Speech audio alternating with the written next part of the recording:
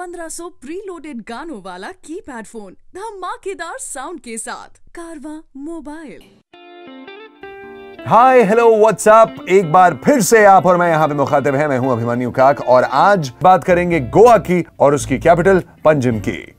West coast में situated है ये शहर। इंडिया के वन ऑफ़ द स्मॉलेस्ट शहर में से एक है जो अपने ब्रिलियंट बीचेस स्क्रम्शियस फ़ूड और पोर्चुगीज हेरिटेज के लिए जाना जाता है।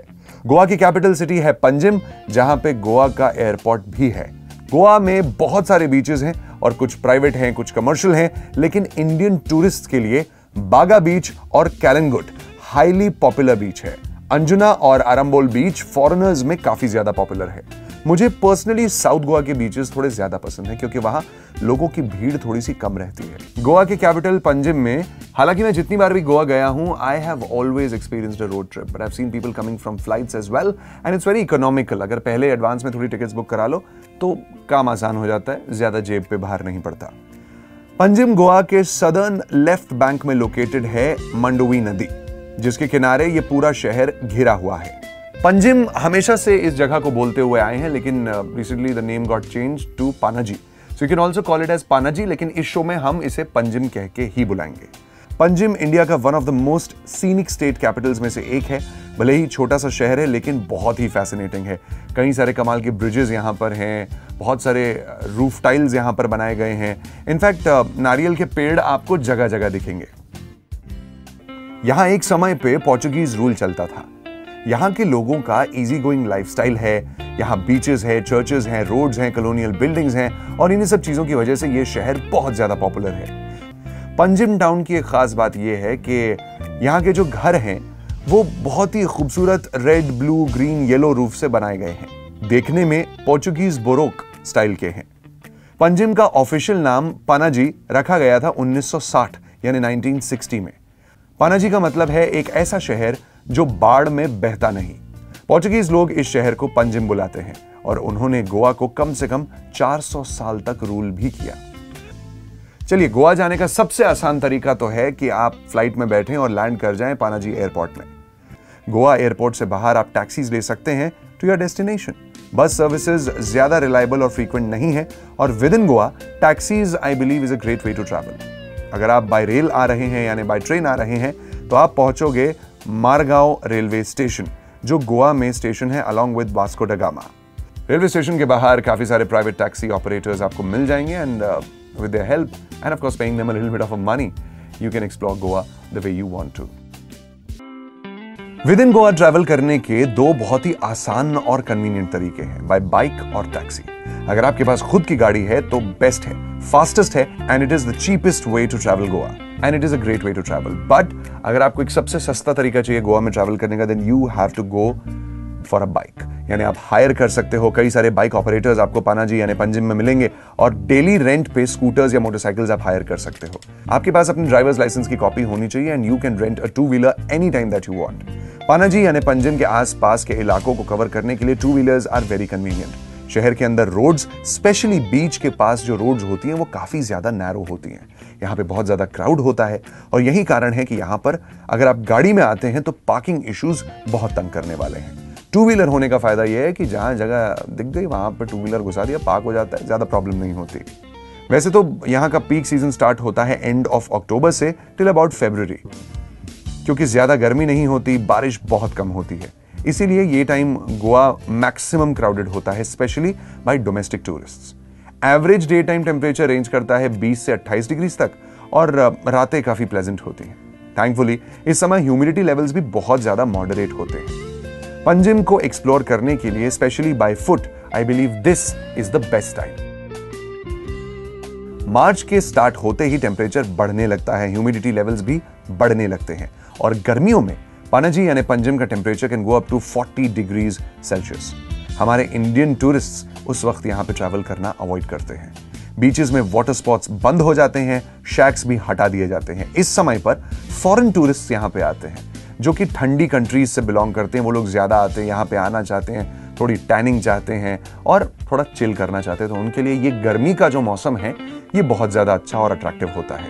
लोग यहाँ पे खासकर जो लग्जरी पसंद करते हैं, वो फाइव स्टार रिजॉर्ट्स में रहना चाहते हैं and they want to have a great time June से सितंबर एंड तक गोवा में होते हैं मॉनसून हालाँकि टेम्परेचर तो ड्रॉप करता है, लेकिन रेनफॉल बहुत ज़्यादा होती है। आउटडोर एक्टिविटीज़ कंडक्ट नहीं करी जाती इस समय, और लोग ज़्यादातर अवॉइड करते हैं इस टाइम पे आना।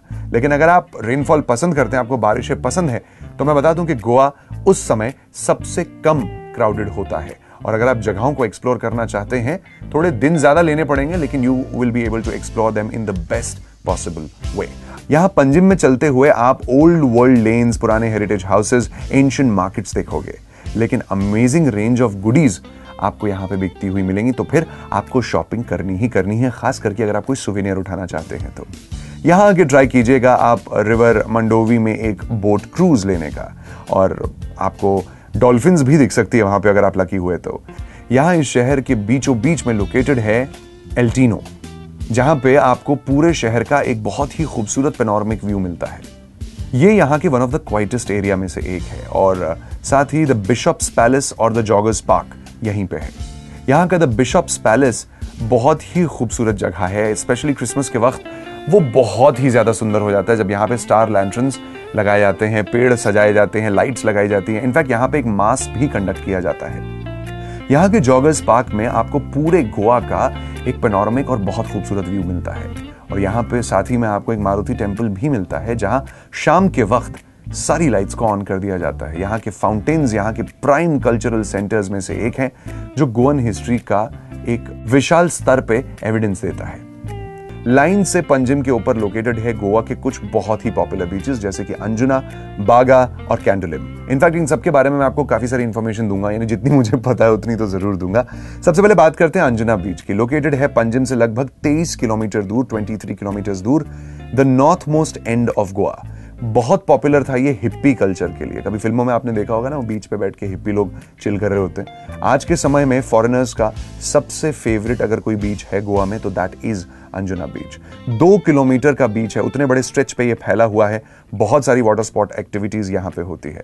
अंजुना बीच, आप खास करके अगर जेट स्कीइंग करना चाहते हैं पैरासेलिंग करना चाहते हैं सन बेदिंग करना चाहते हैं स्विमिंग करना चाहते हैं then you have to try this out यहाँ पे लाइन से बीच शैक्स बने हुए हैं। आप किसी भी शैक में जाके पूरा दिन स्पेंड कर सकते हैं। You can eat as much as you want the rates are also pretty normal Anjuna beach से लगभग छह किलोमीटर नीचे पंजिम की तरफ़ लोकेटेड है Baga beach which is one of the most popular party destination in Goa Baga beach की adventure activities बहुत exciting है और यंग क्राउड में ये बीच बहुत ज़्यादा हैपनिंग है यहाँ पे scuba diving open water diving jet skiing swimming parasailing dolphin rides river cruises boat rides और बनाना राइड्स को एक्सपीरियंस करने के लिए आप अपना पूरा समय स्पेंड कर सकते हैं। और अगर एक्टिविटीज़ करके आप थक गए हो तो फिर बीच साइड कैफेज में बैठ के समुद्र की लहरों की आवाज़ें सुन के, एक खूबसूरत सनसेट देख के पूरा मज़ा ले सकते हैं। बागा बीच के पास है एक आयुर्वेदिक सेंटर जहाँ पे आपको सूदिंग मसाजेस आयुर्वेदिक ट्रीटमेंट्स मिल सकते हैं। लास्टली आता है कैंडलम बीच जो पंजिम से 12 किलोमीटर की दूरी पे है। एक बहुत ही पॉपुलर टूरिस्ट बीच है known for its water spots and beach side cafes यहाँ पर फॉरेन क्राउड बहुत ज़्यादा दिखेगा आपको और बीच के पास कई सारे फाइव स्टार होटल्स हैं तो the crowd is also very up market Candolim की नाइट लाइफ को एक्सपीरियंस करना है तो फिर करिए, क्योंकि नाइट लाइफ ज़बरदस्त है यहाँ की। कैराओ के सेशंस होते हैं, यहाँ पे म्यूज़िक होता है लाइव परफॉर्मेंसेस डांस परफॉर्मेंसेस ये सब कुछ आपको कैंडलम बीच में रात के समय देखने मिलता है। चलिए बीचेस की बात होगी, लेकिन आगे बढ़ते हैं। फ्ली मार्केट लेके जाता हूँ मैं आपको अरपोरा की तरफ़। अरपोरा फ्ली मार्केट लगती है सैटरडेज को शाम चार बजे से रात ग्यारह बजे के बीच। इसको आप इनगोज नाइट मार्केट भी कह सकते हैं, क्योंकि इस नाम से भी ये जाना जाता है। यहाँ की मार्केट्स में आप परचेज कर सकते हैं funky jewellery, bags, clothes, spices, local foods, leather accessories और शूज़ आपको यहाँ मिलते हैं। कैंडलम बीच से नीचे की तरफ़ लोकेटेड है फोर्ट अगवाडा जो 1612 में पोर्चुगीज द्वारा बनवाया गया था to guard against Marathas and Dutch attacks ये पोर्चुगीज गवर्नमेंट का एक बहुत ही स्ट्रेटेजिक पॉइंट था, जहाँ से वो समुद्र में आने वाली हर शिप पे नज़र रख सकते थे। ये फोर्ट इतना बड़ा है कि ये पूरे पेनिनसुला में फैला हुआ है और इसका लोअर पोर्शन शिप्स को डॉक करने के लिए इस्तेमाल किया जाता था। नॉर्थ गोवा में फोटोग्राफी के लिए ये one of the most popular points है। विज़िट करने के लिए आप अर्ली मॉर्निंग या लेट इवनिंग जाएँ। तो सनराइज सनसेट के नज़ारे देख सकते हैं। गोवा में सबसे वेल नोन लैंडमार्क में से एक है basilica of Bom Jesus church जो पंजिम से 11 किलोमीटर की दूरी पर ओल्ड गोवा में लोकेटेड है। ये एक यूनेस्को वर्ल्ड हेरिटेज साइट है और गोवा के पोर्चुगीज रूलर द्वारा बनवाया गया था। इस चर्च का कंस्ट्रक्शन हुआ था साल 1594 में और यह शुरू हुआ था साल 1605 में। पूरी स्ट्रक्चर इसकी तभी तैयार हो गई थी। ये गोवा का one of the oldest churches है। संडेज यहाँ बहुत भीड़ होती है। उस दिन मैं सजेस्ट करूँगा प्लीज़ डोंट विज़िट हियर आखिरी डेस्टिनेशन जो पंजिम की है दैट इज़ कॉल्ड डोनापोला जो शहर से सिर्फ़ छह किलोमीटर की दूरी पे लोकेटेड है। बहुत ही पॉपुलर टूरिस्ट डेस्टिनेशन है डोनापोला बहुत सारी मूवीज़ यहाँ पे शूट करी गई हैं। कई सारी अजय देवगन की फ़िल्में यहाँ पे शूट करी गई हैं। डोनापोला में एक जेटी है जिसमें बहुत सारे स्ट्रीट शॉप्स हैं बोटिंग ऑप्शंस हैं लोकल फ़ूड ऑप्शंस हैं, ये सब आपको वहाँ मिलता है। गोवा सीरीज़ में, जो मैं आपको बता सकता था, पंजिम के बारे में वो सब मैंने आपको बता दिया। सो गोवा तो ऐसी जगह है जो इंडिया में है, जहाँ पे बस आपको चार लोगों को इकट्ठा करना और निकल लेना है। बिकॉज़ गोवा के साथ क्या है ना, जो मैंने पर्सनली एक्सपीरियंस किया if you are really planning about Goa then believe me that plan will never be made you just have to randomly get up and decide चलो, गोवा चलते हैं. तब गोवा के प्लान बन जाते हैं। With this I conclude the episode for this time अगले episode में फिर होगी मुलाकात। Till then keep smiling keep travelling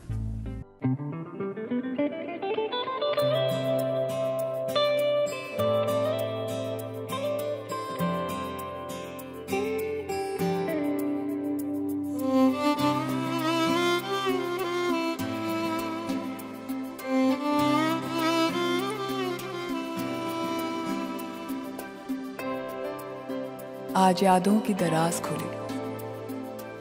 पुराने खत मिले। कुछ दिल के टुकड़े मिले। वादे मिले। बीती मुलाकातें मिली। बहुत तलाशा, मगर तुम ना मिले। एक प्यार का नगमा है। मौजों की रवानी है। ज़िंदगी यार कुछ भी नहीं तेरी मेरी कहानी है।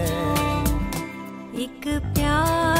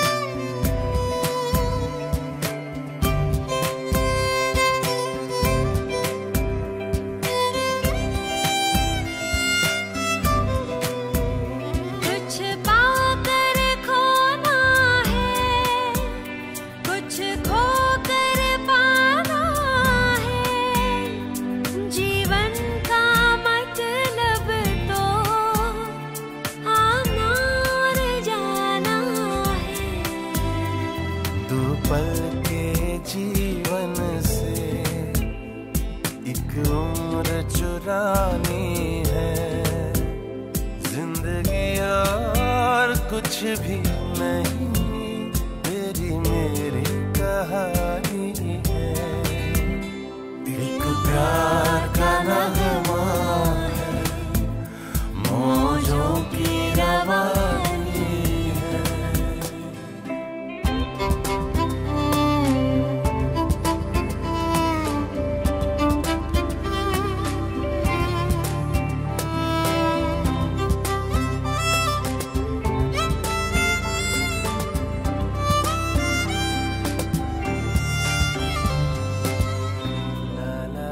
की सिलवटों में लिपटी। कुछ रातें मिली। तुम्हारी खुशबू मिली। कुछ मौसम मिले। तुम्हारे लिए लिखे हुए कुछ शेर। टूटे फूटे अल्फाज मिले। बहुत तलाशा, मगर तुम ना मिले। तू धार है नदिया की, मैं तेरा किनारा हूँ। तू मेरा सहारा मैं तेरा सहारा आँखों में समंदर है आशाओं